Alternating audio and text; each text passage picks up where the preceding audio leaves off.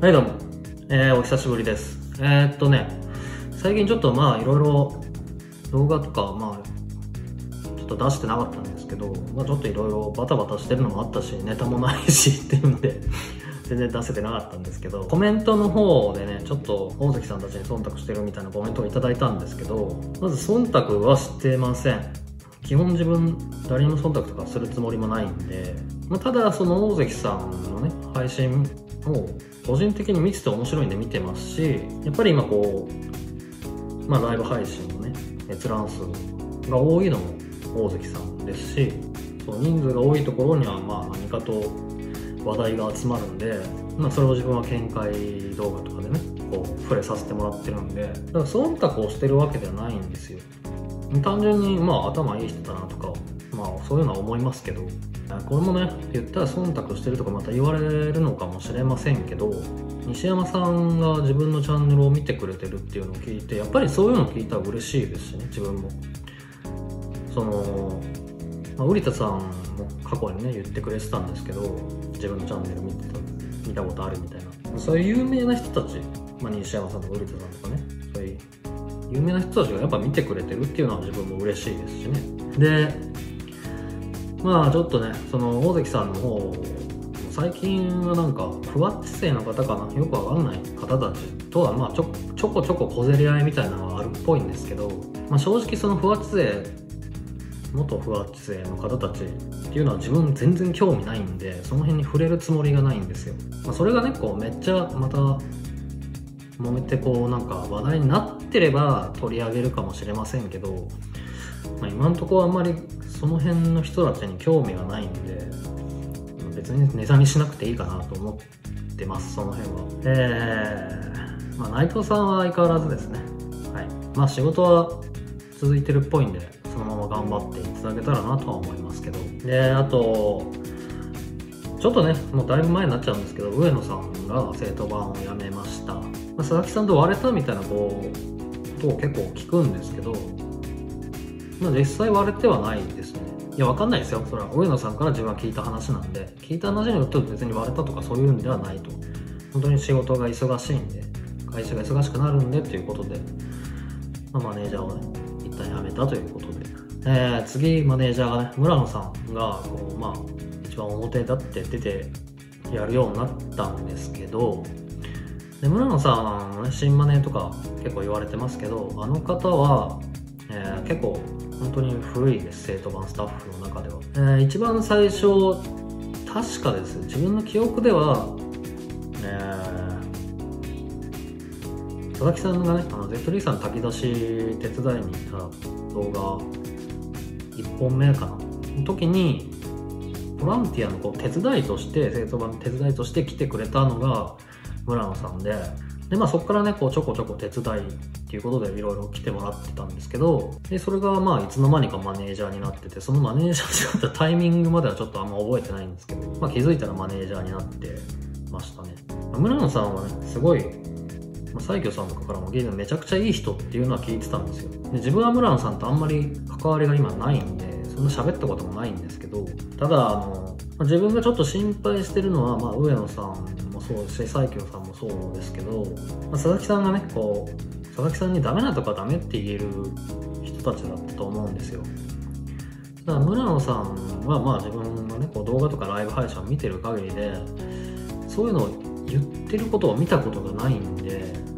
うんちょっとその辺が心配ですね。やっぱり正当版をねよくしてこれからよくしてこう、まあ、伸ばしていこうと思ったらダメだとかダメいいとかいいって言える人じゃないとやっぱりチャンネルっていうのは伸びていかないし、まあ、その辺の意見がね言えるのかなっていう心配はちょっとあります、まあ、その辺はまあ頑張ってくれるとは思いますけど。あとはこう村野さんがねどういう企画を新しく持ってきてどう正当版こうまた変わっていくのかなっていう。やっぱりこうマネージャーによってねこう正当版の方向性って変わっていくと思うんで、ちょこちょこまあ、ライブ配信、佐々木さんのね、ライブ配信一番上がった時とか、まあ、他コメントとかでも、自分がマネージャーやったらみたいなのとか結構言ってくれる方とかいるんですけど、自分はやっぱりマネージャーっていう器ではないんですよ。相談とかこう、どうした方がいいっていうことを聞かれたら自分はこうした方がいいんじゃないですか？とは答えるんですけど自分からこうこうした方がいいですとかそこはダメですっていうのは言わない言ってないんですよね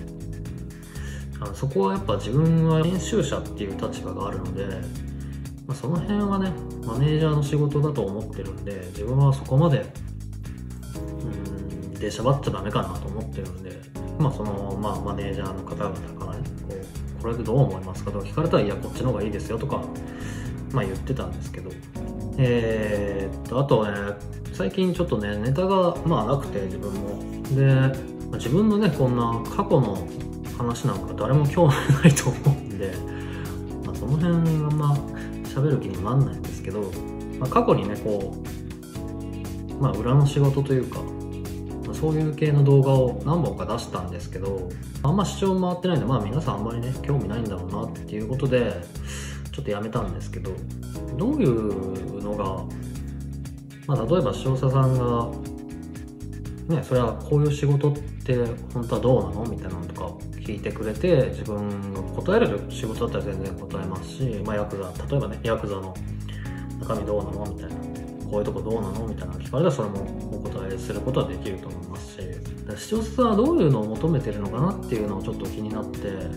まあ、よければねコメントで書いてもらえればそれに対してのこう動画も出していこうかなとは思うんですけど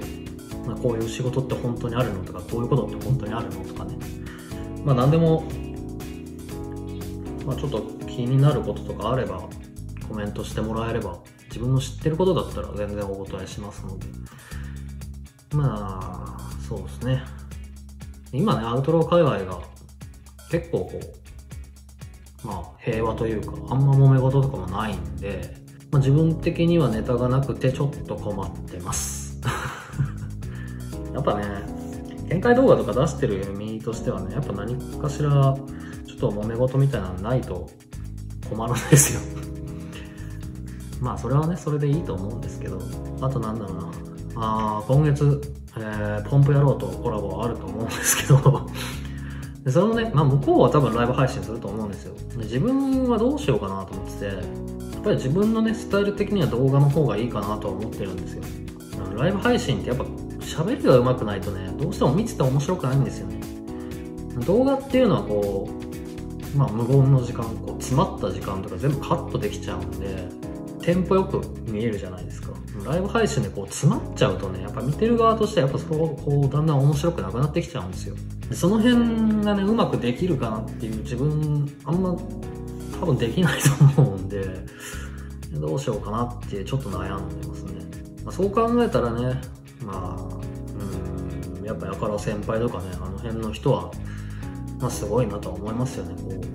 話。まあ、同じ話何回もこう繰り返してはいますけど、やっぱりでもつまらずにね、こう止まることなくば喋ってるんで、そういうスキルはすごいと思いますね。まあ、そんなもんですかね、最近では。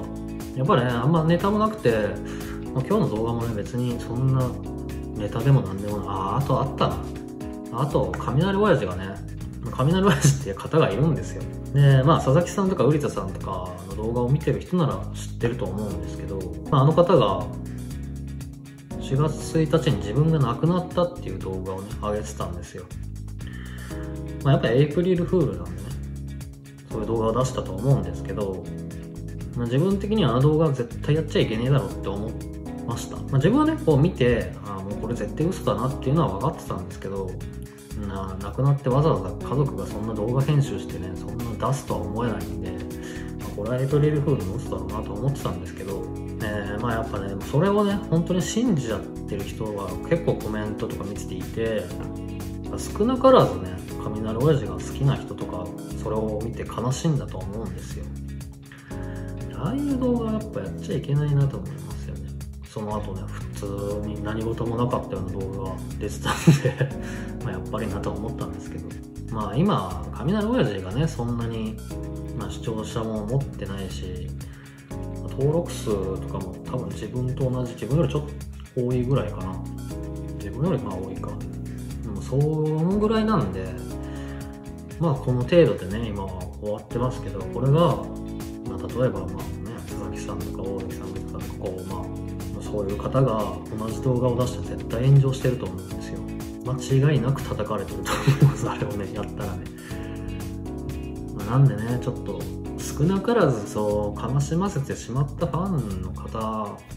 にはまあね一言ぐらい謝罪した方がいいんじゃないかなって思いましたけど。まあそんな感じですかね。最近本当にこう、ネタがなくてね、まあちょっとバタバタしてたっていうのもあるんですけど、まあネタがなくて動画を出してなかったんですけど、やっぱこう、こんだけね、日にち空いちゃうとちょっとさすがに1本ぐらい出しとかないとなと思って出したんですよ。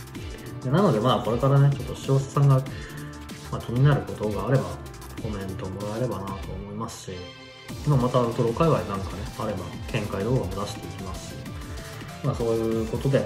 まあ、興味はないと思いますけど、よければチャンネル登録お願いします。では、ありがとうございました。